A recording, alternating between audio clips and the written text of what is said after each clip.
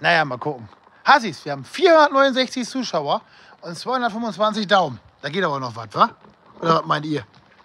Bevor ich hier noch weitermache und noch mehr scheiße Spoiler hier. Ist da Licht an? Das sieht nur so aus, Dachschaden.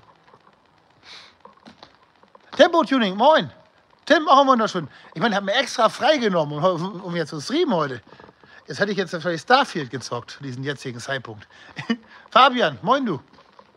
Und Stefan, dir auch einen wunderschönen guten Abend, Alter. Ja, Fiete hat übrigens seine, seine erste Miettour durch, seitdem hier die Instandsetzung war. Also die TÜV-Geschichte und die Schweißerei und sowas, ne?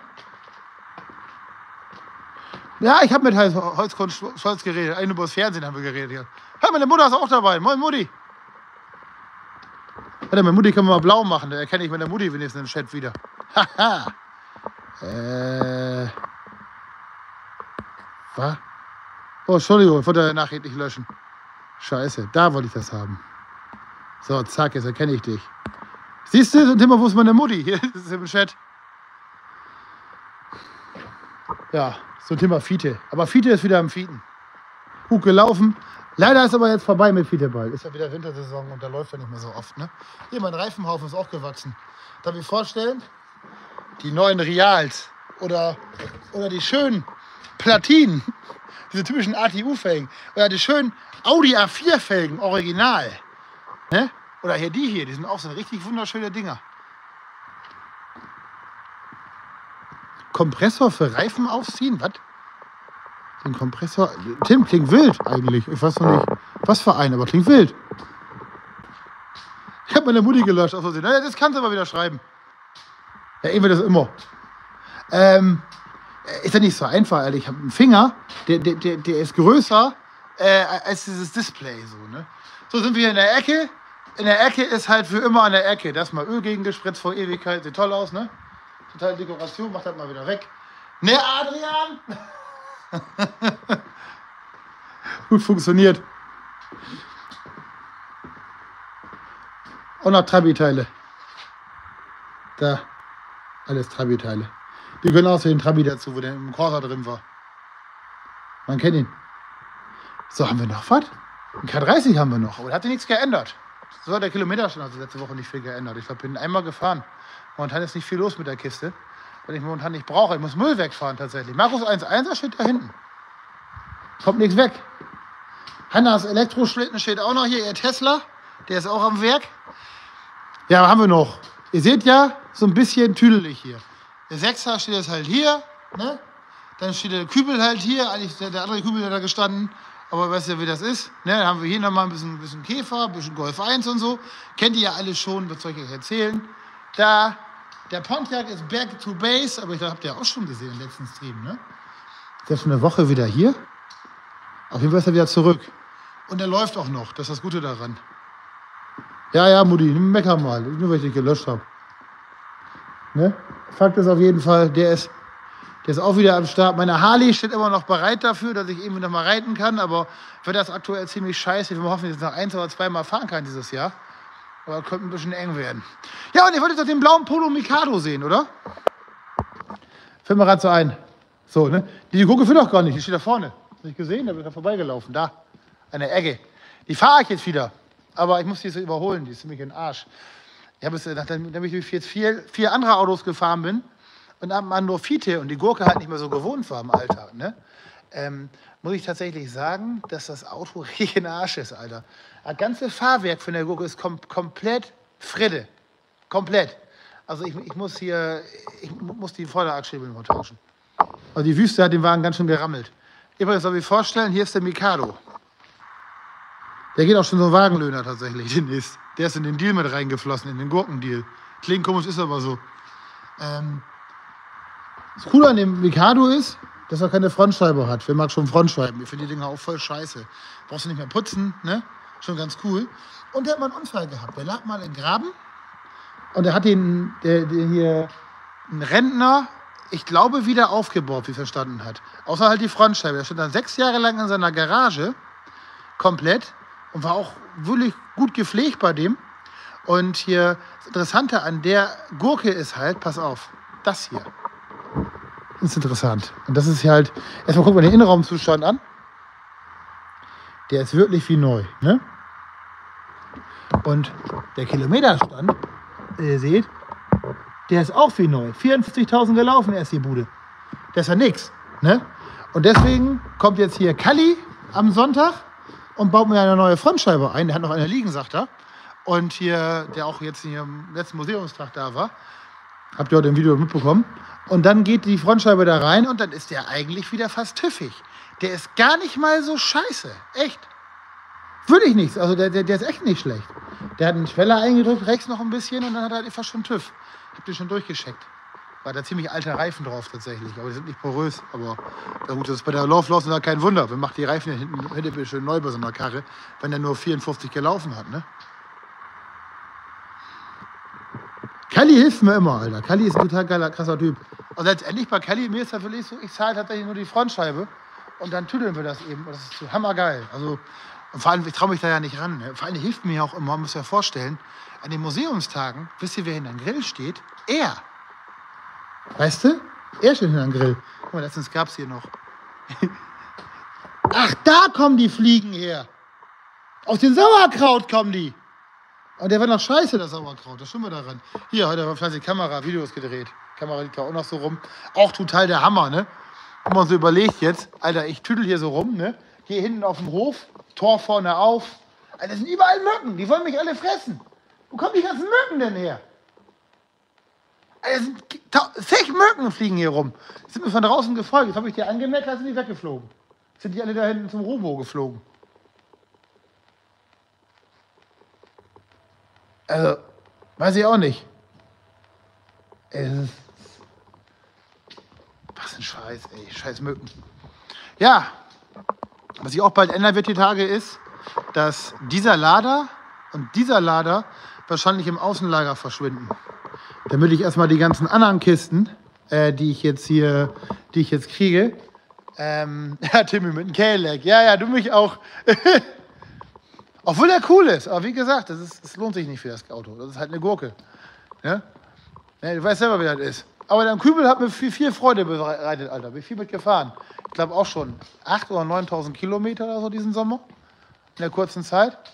Da kann man nicht meckern. Für mich ihn noch bekommst, da kann ich euch sagen, wenn ihr wollt. Klar, ich habe auch keine Geheimnisse für euch. Habe ich noch nie gehabt. Also ich bin, glaube ich, der einzige YouTuber, der geheimnismäßig, sagen wir mal, relativ weit hinten ist. Ähm, äh, das andere Außenlager kommt weg. Ne? Man letztendlich. Ähm, naja, ich kriege noch den, was wahrscheinlich euch alle freut.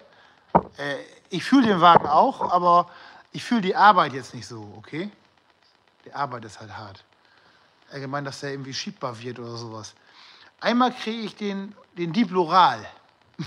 Also den Opel Admiral Diplomatverschnitt, der bei Michi in der Halle steht, der blaue. Den kriege ich. Der ist in den Tauschstil mit reingegangen. Dann kriege ich den Toyota Cressida. Der kennt ihr ja auch. Die will ich natürlich gerne zeitnah haben, weil ich gerne diesen Monat noch anmelden möchte, weil ich damit gerne nächsten Monat einen Roadtrip fahren möchte eigentlich. Äh, nur der hat noch diesen Monat TÜV. Das heißt, das ist der TÜV Überziehung Spezial Roadtrip. Man kennt ihn. Ähm, und dann kriege ich noch einen Wartburg 1.3. Den habt ihr auch gesehen, der letztens gebrannt hat. Den auch, also eigentlich, eigentlich, nur drei Gurken letztendlich. Ne? Und Michi kriegt dafür ein ziemlich, ziemlich, großes, ziemlich große Gurke. Ähm, naja, die steht da hinten. Ist lila und er ist voll geil drauf. Sei ihm gegönnt. Wirklich, weil er hilft mir ja auch und das passt. Ne? Und ich meine, ach so, und der Granada halt, ne? Der steht da draußen. Der ist ja auch, der Granada ist der teuerste Posten, glaube ich, weil einen billigen Granada kriegst du auf dem Netz ja nicht mehr, ne? Warum ich den CSI Mann, den, den hier den 6er nicht fahre, erstmal, weil der ein bisschen zu schade ist zum Fahren und zweitens, weil das Differential im Arsch ist für dem Ding und der Tacho nicht funktioniert. Das heißt, wir müssen ein Differential besorgen und einen neuen Tacho-Klaus-Sensor. Werdet ihr den Bläser noch aufbauen? Ja, klar. Wenn ich ihn kaufe, dann müssen wir ihn noch aufbauen, weil der kostet ja auch Geld. Ich kriege den ja nicht geschenkt. Ja, und ich muss da natürlich wieder Geld rausmachen, weil davon leben wir ja hier. Ne? Ihr wisst, was ich meine? Ich meine, jetzt nur von YouTube können wir halt nicht leben. In drei Monaten ist Weihnachten, Alter, lass das nachdenken. Denk darüber, denk nicht so viel nach. Auch wenn der Name es sagt, Alter, denk nicht so viel nach. Ingo, ich habe das gefeiert, deine Story mit dem, mit C-Kadett und dem B-Kadett und dem mittendrin. Fand ich gut. Ja, Gordon, deswegen habe ich Gordon ja mitgenommen. Ne? Also wenn, jetzt, wenn ich jetzt Scheiße kaufen sollte und Gordon sagt, du hast Scheiße gekauft, dann ist Gordon schuld. Weil er wäre ja dabei, deswegen habe ich ihn mitgenommen. Dafür, ne? dass er halt mitgekommen ist. Dafür kam er ja mit, damit ich eventuell das Geld spare und die Kiste nicht kaufe. Weil ihr könnt euch vorstellen, so ein Chevrolet Blazer ist nicht unbedingt so dieser Standard-Gurkenkurs, den man sich so vorstellen kann. Das ist halt bestimmt was Teureres. Das mache ich damit. Ich habe doch 124er Dortmunder Junge, was soll ich mit dem zweiten? Aber Witting ist cool, ne? Aber der hat halt nicht so mega, mega fett Bock auf Videos. Beziehungsweise er hat nicht viel Bock, äh, vor der Kamera zu kommen und so. Deswegen haben wir die Einigung, dass ich alles, was ich kaufe, da filmen kann, aber ihn mit den restlichen Videokram halt in Ruhe lasse. Er hat da keinen Bock drauf. Ne? Dass der LKW nächstes Jahr wirklich geben muss, kann sein. Ich bin noch nicht so ganz sicher, ob wenn das Miet, wenn, wenn es dieses hier Mautrecht sich ändert, ähm, dann tatsächlich, muss ich wirklich ehrlich sagen, ja, es kann sein. Also, äh, was, was soll ich denn machen? Weißt du? Ehrlich jetzt, was soll ich machen, wenn das Ding jetzt das Doppelte kostet? Alter, das Ding, du jetzt, das ist ja so schon genug Sprit. Ne? Aber da scheißen wir mal drauf. Spritverbrauch gehört beim LKW halt dazu. Das ist wie bei, wie bei dem K30 oder bei dem Quovo. Die tanke ich jetzt einfach und gut ist das. Gehört halt irgendwie dazu. Ne? Ähm, das Ding ist halt, ihr müsst euch ja vorstellen, wirklich vorstellen, ähm, wenn das Mautding da raus ist, dann kostet ein Kilometer mit der Karre oder 100 Kilometer kosten dann mal ebenso an Maut, was war das, 80 Euro? 1,40 Euro pro Kilometer, weiß ich gar nicht. Ähm, anderweitig überlege ich tatsächlich, man kann auch ein bisschen das Tüdeln noch damit, weil du darfst nämlich in Niedersachsen gewerblich mit H-Kennzeichen fahren. Das heißt, man darf Gewerbefahrzeuge auch mit, mit H-Zulassung anmelden. Ist bei uns exklusiv so. Und das will ich überlegen, vielleicht, ob ich dann einfach das Ding einfach ein H-Kennzeichen drauf nagel. Und dann kann ich wenigstens, wenn ich unbeladen bin, beladen bezahlst du trotzdem Maut, aber wenn ich unbeladen bin, kann ich dann vielleicht sogar noch so mautfrei fahren. Das heißt, den Hinweg kann ich mir sparen. Der Rückweg kostet halt meistens Kohle, aber es ist sowieso ein Anhänger hinten dran dann, wenn ich irgendwas wichtig ziehen wollte. Ne? Den Lader, welchen? Fahr beide nicht. Udo, die stehen beide hier nur rum eigentlich. Das sind beides keine Fahrautos, sondern nur Stautos, Stehautos. Ähm, obwohl den, den Braun, der bei Marco war tatsächlich, habe ich vor, tatsächlich zu machen. Ja, Rainer, Weihnachten ist scheiße bei dir. Ne? Vielleicht machen wir dies noch eine Weihnachtsfete oder irgendwas. Ne, weil das Geburtstagsding, also ich veranstalte zu meinem Geburtstag im 1. November übrigens nichts, ähm, dass ihr Bescheid wisst. Das ist mir momentan zu viel Scheiße auf einmal. Ich habe den Kopf sowieso komplett voll. Ehrlich jetzt, ne? Ähm, und, äh, aber vielleicht machen wir zu Weihnachten noch was. Community-Event oder irgendwas. Machen wir das Museum nochmal offen und dann machen wir so einen Weihnachtsmarkt oder so. Wer Bock hat, ne, schreibt mal rein. Wie gesagt, ist interessant. War so eine Überlegung von mir, weil wir machen ja das Gurkenmuseum, mache ich übrigens auf äh, nee, mache ich zu, ähm, Anfang November. Das heißt, ich glaube, am 30. Oktober ist der letzte Museumstag dieses Jahr. Und an diesem letzten Museumstag lade ich übrigens alle ein, die schon mal ein Auto bei uns verkauft haben, einen Speedshop, ähm, und hier den Gebrauchwagen mitzubringen, weil die kriegen separaten, alle Speedshop-Gurken, die mal verkauft wurden hier, kriegen also sozusagen einen separaten Bereich. Das war so meine Idee. Und dann kann man die nochmal alle bewundern, was gehalten hat, was nicht gehalten hat. Ne? Das feiere ich so ein bisschen. Und ihr, wollt, ihr wartet auch alle drauf. Was von den Dingern fährt noch? Ach, der Whisky-Wasser-Typ. Ja, gut. Der hat dich ja auf den Schrott geschmissen. Der ist selber schuld. Letzt, letztendlich, Mann. Hätte ich den Kasten nicht auf den Schrott geschmissen, der hätte mir doch anrufen können, hätte ich ihm geholfen. Was soll ich denn jetzt machen? Ich kann ja kein Wunderauto reparieren. Ne? Vorletzten, letzten Museumstag. Klingt gut, Daniel, Alter.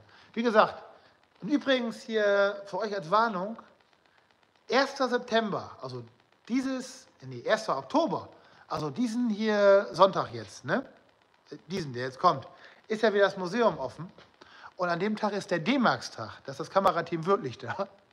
Nicht über letztes Mal, weil es ist da und ist nicht da. Also da haben wir diesmal Fernseh, Fernsehklaus. Also wer seine Gurke nochmal irgendwie im Fernsehen sehen will und eine Chance haben will, kann er nutzen. Ne? Wer Bock hat, wer weiß das schon. Ne? Neuen Lüftermotor. Oh, Ingo, klingt gut. Diese liegt bei 1,80, mir egal. Ja, Diese liegt, liegt nächstes Jahr mindestens bei 1,90, 1,95. Diese scheiß CO2-Umlage. Wie gesagt, die machen uns jetzt die Taschen leer. Ne? Hasis, 570 Zuschauer, 341 Daumen. Das da, tut nicht weh. Was so eine Ecke, Enden. Warte mal, bin mir sicher, was sowas. Nein, nein, nein, nein, nein, das ist der Entendoktor. Der heißt nicht Max, der heißt Björn, aber ich weiß, wen du meinst. Mit ohne Ludolf, ohne Ludolf, der, der, der, der hat ja keinen Bock. Ab wie viel Uhr kann man zum Museumstag kommen? 11 Uhr machen wir auf. Von 11 bis 17 Uhr. Was wurde aus den Golf 2 Scheiben? Scherben. Letztendlich wurden daraus Scherben. Der wird klein gehauen, die ganzen Scheißdinger. Die gibt es nicht mehr. Eigentlich dämlich. Ich weiß, wenn der Mord noch schlimmer hat, Modulschule und LKW gelernt. Ab zweieinhalb Tonnen. Ja, warte mal ab. Ähm, was ich auf jeden Fall jetzt gelernt habe, was ich im letzten Stream angeteasert habe, mir Sorgen gemacht habe, Pkw mit Trailer ist mautfrei. Sofern das Zugfahrzeug unter dreieinhalb Tonnen wiegt. Also da sind wir schon mal, also Pkw und Trailer geht immer noch. Ne? Also Abschleppwagen könnte ein Problem werden, aber das passt schon mal. Wisst ihr Bescheid?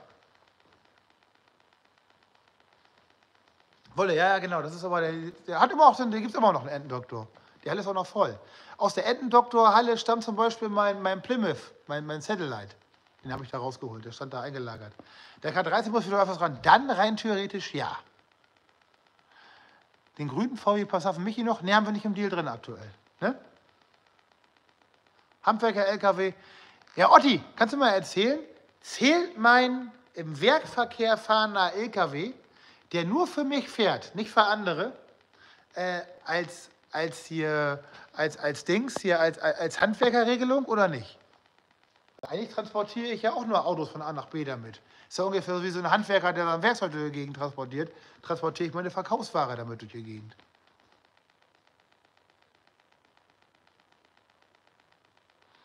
Äh, ja klar habe ich Zeit für meine Besucher. Immer. Da wird dem auch nicht viel ran ändern, wisst ihr doch. Also alle, die im Museum schon waren, die wissen, wie das hier läuft. Ne? Letztendlich habe ich nämlich immer so gut wie ich kann Zeit für alle. Und das klappt eigentlich auch ganz gut. Also manchmal hat man vielleicht ein paar Dinge, wo ich mal eine Stunde verschwunden bin, weil ich irgendwie mal irgendwas habe, aber eigentlich geht das. Dafür müssen nicht von der Scheibe frei sein. Äh, weiß ich nicht. Also ich bin früher Werkverkehr gefahren mit Betonwagen, also auch nur ne, für, für die Dingsen. Ähm, deswegen letzt, letzt, letztendlich ähm, musste ich dann den Fahrradkader reinschmeißen. Ne? Okay, fahr eh mit Taroscheibe. An die Kopf sich anhalten, kann sonst böse werden. Ich habe schon mal eine Kontrolle gehabt mit einem LT damals. Habe ich Schwein gehabt, dass eine Taroscheibe drin hatte. Ne? Schwer. Das Witzige bei dem LKW ist übrigens bei dem, bei dem hier, bei dem, bei den hier Mercedes-LKW, bei den 817, ähm, die Tachoscheiben, die da drin liegen, sind nach die Originalen von der Auslieferung. Weil er vielleicht in seinem ganzen Leben zehnmal mit Tachoscheibe gefahren ist, weil er früher noch ADAC gefahren ist.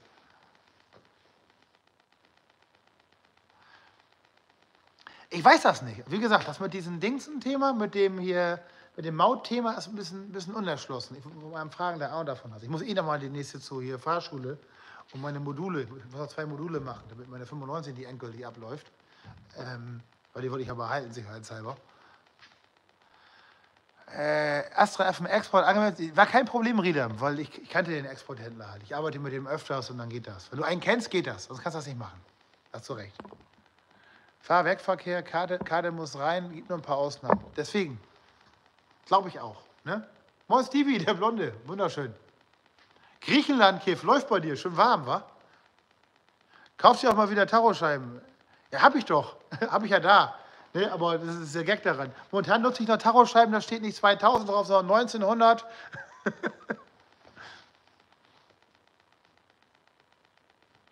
Neuer LKW, was, naja, LKW, kannst du, kannst du bitte sägen? Was, Martin, meinst du, Alter?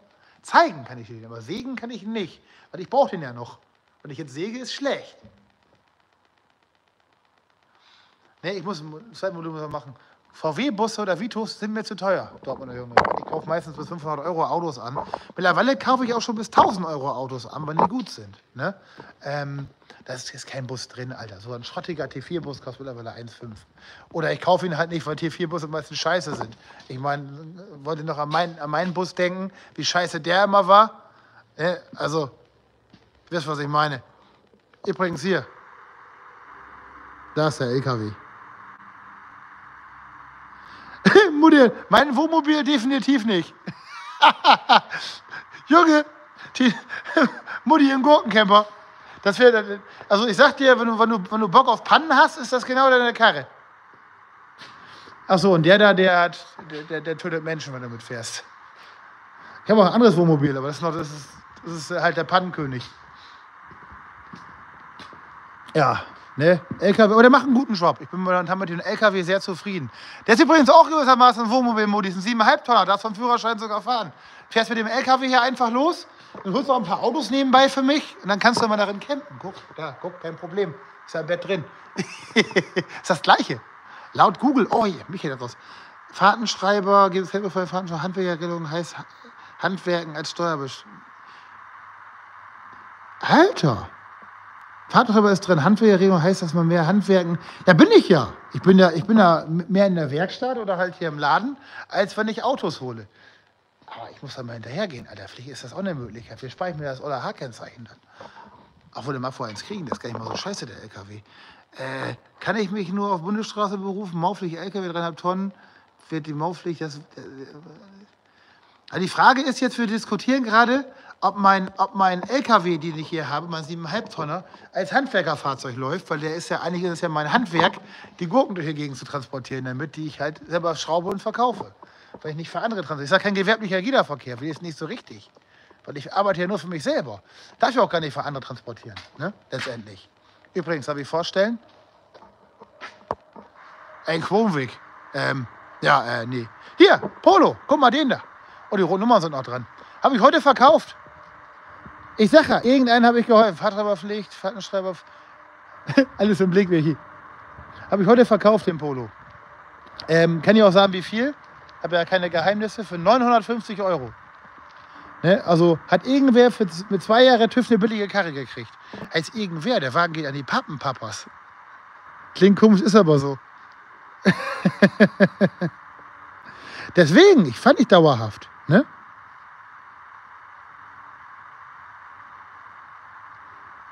Auf jeden Fall hat der, hat der sein, sein, sein, Leben, sein Leben jetzt wieder vor sich. Der kann noch mal zwei Jahre durch die Gegend gondeln. Als Winterauto für einen Seat Cupra-Fahrer. Das ist der von Elvis, der zweite von Elvis. Ist schon abgeschlossen. Gut, der ist auf Verkauf, das soll ich noch nicht abschließen. Und hier der neue in der Flotte. Kennt ihr noch den grünen Passat heute aus dem Video? Guck mal, hier seht ihr den schon mit nagelneuen TÜV stehen. Das ist ja, das ist ja mal eine Zeitblase, wa? Junge, Junge, Junge. Plötzlich steht Passat mit nagelneuen TÜV zu verkaufen. Läuft. Könnt ihr gucken. Da, habe ich gerade erzählt. Einer fürs, fürs, fürs Fensterheber, bevor wir ihn rausgeben.